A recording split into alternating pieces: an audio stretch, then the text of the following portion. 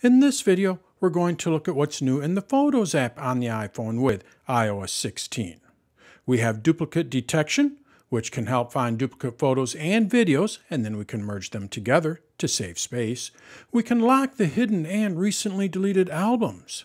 We can also copy edits we've made from one photo and paste them into another photo. And we can undo multiple edits and see what edits have been undone. And then we can also turn off memories and featured content from showing in our Photos app as well as the Photos widget. Let's take a look at these new features in iOS 16 on the iPhone. Let's go over to my iPhone. Let's first look at duplicate detection. The first thing that we need to do is we need to open up our Photos app. So I'm going to go to my Photos app here and open it up. Now to find duplicates, it works with both photos and videos. To find duplicates, what you need to do is go to all of your albums here. So I go to albums down at the bottom, and then we have a list of all of our different albums. And when we go over to utilities, what you're going to see if you have duplicates is an album for duplicates. When I tap on this, I can see all of the different duplicates that the iPhone has detected. Now, how does the iPhone determine what is a duplicate? Well, basically uses two different methods. If we go down towards the bottom here, you're going to see a brief paragraph explaining what it does. So basically what it's going to do is duplicates are classified both as exact copies, that's what these are, these are exact copies, but they may have different metadata. Maybe they have a different title or a different date. Again, the photo itself is an exact copy, but the metadata that's tied to it may be different so it's a duplicate. But also what it may do is find duplicates that appear to be the same. So it's going to use a little machine language to determine if it is the same.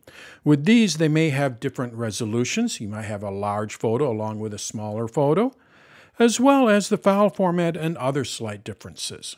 Basically, what you're going to want to do with either one of these is you're going to want to merge them to save up space. When you merge them, what it's going to do is it's going to save the larger file, the higher resolution file, but it's also going to merge all of the metadata together. So if you have a large file that has no title and a smaller file that has a title, what it'll do is it'll delete the smaller file, but it'll take that title and apply it to the larger file. So basically, it just merges them together, saving the best quality photo or video. Just think of it that way. It's merging all of the data, but it's saving the best photo or the best video, the best quality photo or video. So how do we merge these together? Well, basically all we have to do is just go over to merge and it'll merge them. When you're looking at these, you're going to see that this one here is one and a half megabytes and this one here is one and a half megabytes. So these are exact copies. I don't need to have both of these on my iPhone. It's taking up space. So I just go over here to merge. I confirm that I want to merge them. And now those are merged. I can also go up to select in the upper right hand corner and when I tap on this what I'm able to do is select multiple duplicates and then merge those together. So basically what it's going to do is merge these two together and then it'll merge these two together. I'm actually going to cancel this. So that's basically how duplicate detection works.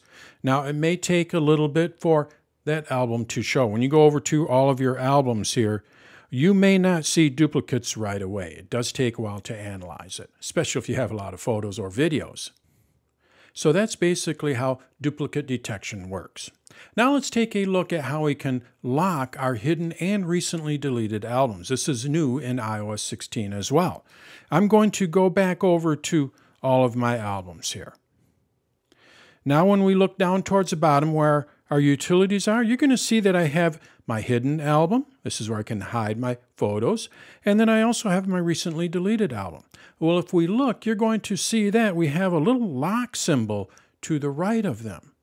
They are now locked. In past versions of iOS, when you had these albums, anyone that had access to your phone, if the phone was unlocked, they'd be able to take a look at these photos.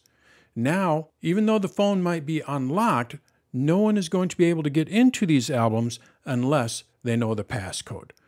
So I'm going to tap on hidden here, and I'm not going to look at my phone. I'm just going to look away. You're going to see it is not opening up. But now, when I enter in the code, I can view that album. Or when I go back, now I'm going to look at the phone and I'm going to open it up. We can see it recognized my face and it opened it up. So our hidden album and our recently deleted, recently deleted albums are now locked. If you want to show the hidden album, what we need to do is we need to go to our Settings app. And then what you'll need to do is go over to the Photos settings. And under Photos, what you're going to see is Show Hidden Album. This is nothing new. We always had this hidden album, or we've had it over the last few years. But again, it wasn't locked. Now, when I turn this on, it'll show in that utilities just like it always did in the utilities albums here.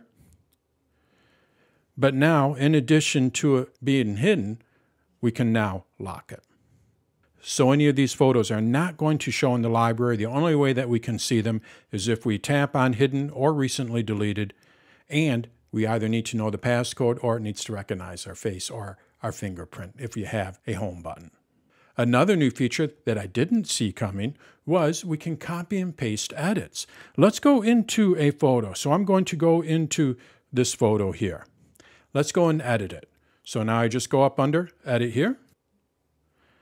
And I'm going to make a few changes to it. So what I'm going to do is just swipe over here. Let's go and make some drastic changes to it.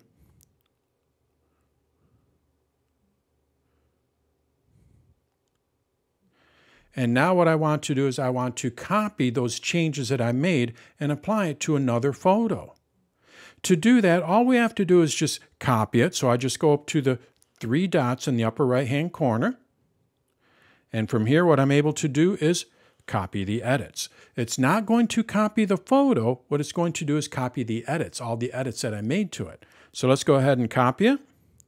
And now I'm going to go to another photo. So I'm just going to cancel this. And we're going to go to this photo here. Whoops, that's a video. Let's go to this photo here. I want to paste those edits that I made. Well, I just go up to the three dots here. I don't even have to edit it. All I have to do is go to the More button here. That's what these three dots are. I go to the More button, and you're going to see Paste Edits. I tap on this, and now it pasted those edits that I copied from the other photo. So now let's go to this photo. We're going to do the same thing, Paste Edits. So I can go through and paste these edits to all of my photos. So if you added a vignette to a photo and you want to add that same vignette to all of your photos, that's how you can easily do it now. We can also undo and redo edits, and we can see what we are undoing and redoing. Let's go back over to that original photo here. I'm going to go and make some changes to it. Just go and tap on these randomly. And now what I'd like to do is undo those. To undo those, what we do is we go to the upper left-hand corner and I can undo those. Every time I tap on this, what it's going to do is undo the most recent edit. Also, what you're going to see is what the edit was right above the photo here, right at the top of the photo. So I'm going to tap on the undo and watch this area here. As I'm tapping, we can see what changes I made and what it is undoing. I want to redo them. I tap on the redo and we can see what it is redoing or what edits it is making. And then last, we can also hide our memories. So when we're looking at our, I'm going to cancel this. When we're looking at our photos here, what we can do is we can view our memories. I'm going to go to For You. We have memories here. Also, we can see these memories in our widgets here. Well, what we're able to do, if you don't like those widgets, what you're able to do now is turn those off.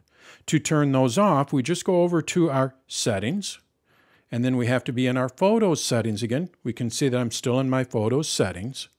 And then down towards the bottom, you're going to see show featured content.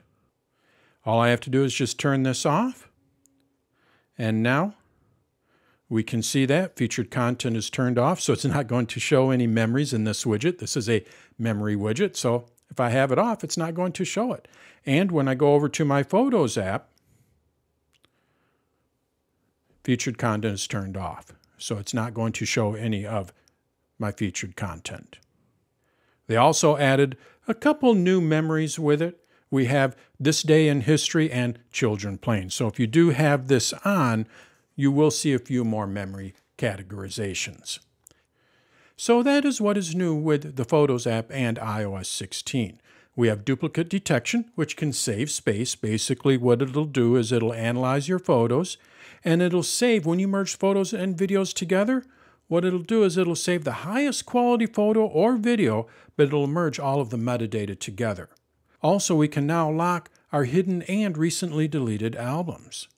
We can copy edits we've made from one photo to another photo, and then we can undo and redo multiple edits and see what edits we have undone or what we are redoing. And then if you want to turn off your memories and featured content, you can do that as well. So that is what is new with the Photos app in iOS 16.